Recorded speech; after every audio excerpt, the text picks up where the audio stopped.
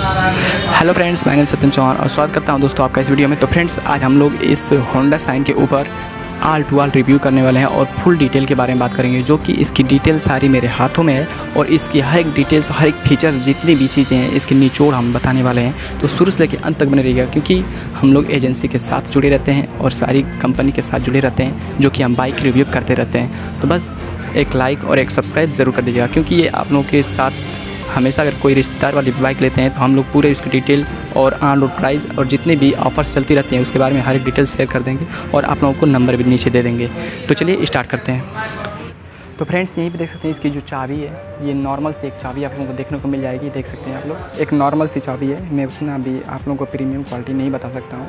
और वहीं पे आप लोग देख सकते हैं, यहाँ तो फ्रेंड्स आप लोगों को यहाँ पे वाइज़र जो है ब्लैक कलर देखने को मिलेगा और यहीं पे आप लोगों को होंडा की शाइनिंग देखने को मिल जाएगी और जो स्टिकर्स हैं और वहीं इधर भी आप लोगों को स्टिकर्स देखने को मिल जाएँगे और यहाँ पे आप लोगों को क्रोम फिनिशिंग के साथ मिलता है और ये जो हाइलोजन बल्ब है, इसमें तो एलईडी नहीं मिलता है लेकिन हाइलोजन बल्ब है और जिस डीसी के साथ कनेक्ट रहता है और इसकी रोशनी भी काफ़ी अच्छी तगड़ी निकल के आती है। और वहीं दोस्तों, अब इसकी जो इंडिकेटर्स हैं, बात की जाए दोनों की, इस बगल और इस बगल की जो इंडिकेटर्स हैं सॉरी इंडिकेटर्स हैं, ये दोनों आप लोगों को फ्लेक्सिबल इंडिकेटर्स देखने को मिल जाएँगे। और इसकी जो देख सकते हैं, जो काफ़ी भारी भरकम देखने को मिलती है दोस्तों, इसकी सबसे बड़ी यही जो है ही मिलती है। और इधर टेलीस्कोपिक सस्पेंशन जिसमें कोई कवर नहीं लगाया गया है। और यहाँ पे देख सकते हैं, जो कि व्हील है अस्सी बाई सौ के व्हील्स इसके टायर आते हैं, ठीक है? अस्सी बाई सौ के टायर्स हैं और वहीं दोस्तों, ये जो इस डिस्क ब्रेक में आप लोगों को बाइक देखने को मिलती है, ये डिस्क ब्रेक में आप लोगों को बाइक देखने को मिल जाएगी, जो कि दो 240 mm का डिस्क ब्रेक है। और क्वालिटी में भी काफ़ी तगड़ी है और ब्रेकिंग सिस्टम इसमें काफ़ी तगड़ी है। वहीं पे दोस्तों, अब आइए इधर से दिखाता हूँ मैं, बगल से थोड़ा दिखा देता हूँ आप लोग को। इधर से आइए। देखिए जो आप लोगों को टैंक दिख रही है, आप लोगों को 10.5 लीटर की टैंक देखने को मिल जाएगी और वहीं पर आप लोग को होंडा की शाइनिंग और यहाँ पर स्टिकर थोड़ा देखने को मिल जाएगा। इधर बगल में आप लोग को देख सकते हैं वाइट एंड ब्लैक कलर की स्टिकर मारी गई हैं और यहाँ पर भी आप लोगों को क्रोम फिनिशिंग के साथ मिलता है। और दोस्तों, वहीं पे अब बात की जाए, यहाँ पे देख सकते हैं आप लोग, जो इंजन है आपको 124 सीसी का इंजन देखने को सिंगल सिलेंडर के साथ मिलता है। और वहीं पे दोस्तों, ये देख सकते हैं गियर जो है, ये फाइव गियर बॉक्स के साथ आती है। और दोस्तों, इसकी जो हॉर्न है, मेड इन इंडिया है, जो कि क्वालिटी में भी अच्छी है। तो यहाँ पे आप देख सकते हैं दोस्तों, जो इसकी बात की जाए, ये स्टैंड जो है, इसमें आप लोगों को कट ऑफ़ देखने को मिल जाता है।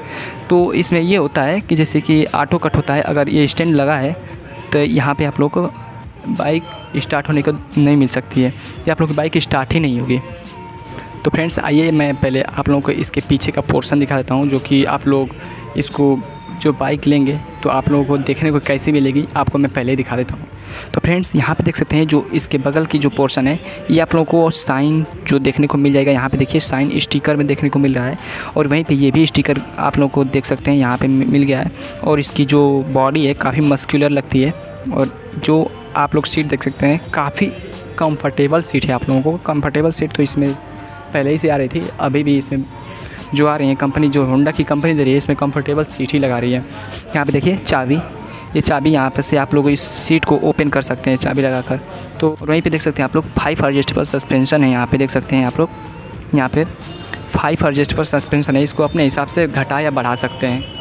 तो आप लोगों की मर्ज़ी है, कितने हाइट पे चलाना चाहते हैं, या आप लोगों की मर्ज़ी है, कितनी वज़न ढोना चाहते हैं, या आप लोगों की मर्ज़ी है तो ये सब आप जाने। और वहीं पे दोस्तों तो यहाँ आप देखिए, यहाँ पे जो ये आप लोगों का चैन कवर है, ये आप लोगों का प्लास्टिक का देखने को मिलेगा। तो ये आप लोगों को, हर कंपनी में आप लोगों को प्लास्टिक का ही देखने को मिलेगा, क्योंकि इसमें अब कंपनी थोड़ा अपना अपनी ओर से कुछ जो चीज़ें थी जो मेटल की चीज़ें थी, वो हटा चुकी हैं और प्लास्टिक की लगा चुकी हैं। तो सब कंपनियों में ये सब हो चुका है, एक ही कंपनी में नहीं। तो काफ़ी पहले से ये सब बदलाव किए गए हैं। ये नहीं कि एकाएक बदलाव किया गया, इसी 2023 में ही बदलाव किया गया, नहीं। ये काफ़ी समय से पहले से ये सब इम्प्रूवमेंट हुई है इसमें। तो फ्रेंड्स अब इधर से देखिए, इधर से देख सकते हैं आप लोग, जो इधर की भी चीज़ें हैं सेम उसी तरह है जो इधर की थी। सेम दोनों तरफ़ देखने को मिलेगा। इधर भी आप लोगों को होंडा की शाइनिंग ही देखने को मिलेगी। और मैं पहले ही बता चुका हूँ कि इसकी जो टैंक है, वो आप लोगों को टेन पॉइंट फाइव लीटर की टैंक देखने को मिल जाएँगी। और इधर देख सकते हैं आप लोग, ये भी चीज़ें बिल्कुल सेम ही हैं बट यहाँ पर देखने को आपको मिल जाएगा किक एंड यहाँ पर आप लोगों को ब्रेक पैड देखने को मिल जाएगा। और इधर की जो चीज़ें हैं साइलेंसर में जो है क्रोम फिनिशिंग दी गई हैं, जो कवर है क्रोम में ही आता है आप लोगों को मेटल में देखने को मिल जाएगा, जो कि काफ़ी अच्छी तकड़ी क्वालिटी बिल्ड क्वालिटी के साथ आप लोगों को साइलेंसर देखने को मिल जाएगा। और वहीं पे दोस्तों, अब आइए इधर मैं आप लोगों को दिखा दूँ, जो पीछे के टायर्स हैं, ये भी ट्यूबलेस देखने को मिल जाएँगे। और दोस्तों, यहाँ पे आप लोगों को ड्रम ब्रेक देखने को मिलता है, जो ड्रम ब्रेक है, आप लोगों को 130 सौ mm का देखने का मिल जाएगा। तो ब्रेकिंग भी अच्छी है। आगे डिस्क ब्रेक है, पीछे ड्रम ब्रेक है तो आप समझ ही सकते हैं। आगे भी मतलब आगे कुछ अच्छी खासिंग फीचर है और यहाँ पे आप लोगों को कुछ अलग ही देखने को मिल जाएगा। तो दोनों में दोस्तों, अभी तो ड्रम ब्रेक के साथ ही आ रही है पीछे की और आगे आप लोग देख ही सकते हैं, उसमें डिस्क ब्रेक है। तो आप लोग समझ ही चुके होंगे कि क्या चीज़ इसमें है, क्या चीज़ नहीं है। और दोस्तों वहीं आप लोगों की बात की जाए, यहाँ पर देख सकते हैं, इधर भी आप लोगों को साइनिंग है। साइन की जो बैजिंग है, यहाँ पे देखने को मिल जाएँगी। और इधर भी आप लोग देख सकते हैं सेम ही पोर्शन यहाँ पे भी देखने को मिलेगा। अब दोस्तों, इसकी बारी आती है मीटर कंसोल की। तो आइए पहले इसकी मीटर कंसोल को देखिए किस प्रकार का दिखता है। आप लोग देख सकते हैं, इधर आइए। तो दोस्तों, यहाँ पे देख सकते हैं आप लोग मीटर कंसोल की। तो यहाँ पे स्पीडोमीटर देखने को मिलता है। यहाँ पे आप लोगों का फ्यूल कैपेसिटी देखने को मिलता है, कितना फ्यूल है, कितना नहीं है। आप लोगों की बाइक कितनी इसमें पेट्रोल है, कितना नहीं है। तो सब आप इसके बारे में इन्फॉर्मेशन पा सकते हैं। और वहीं पे दोस्तों, यहाँ पे मैं आप लोगों को स्टार्ट करके दिखा सकता हूँ। एक मिनट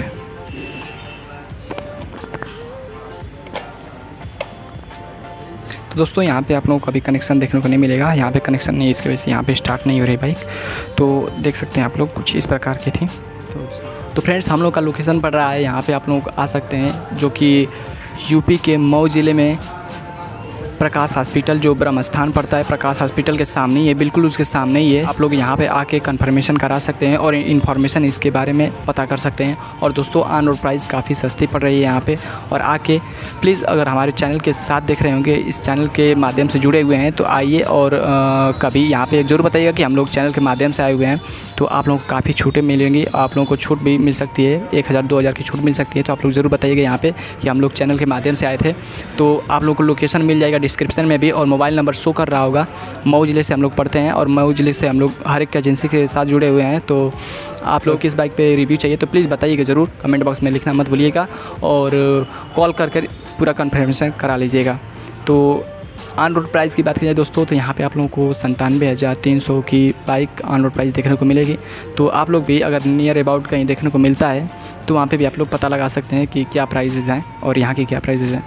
तो चलिए मिलते हैं नेक्स्ट वाली वीडियो तब तक के लिए धन्यवाद और ऐसे ही मस्त वीडियो के साथ बने रहिएगा। और हम लोग काफ़ी वीडियो लाने वाले हैं इंटरेस्टिंग वीडियो लाने वाले हैं।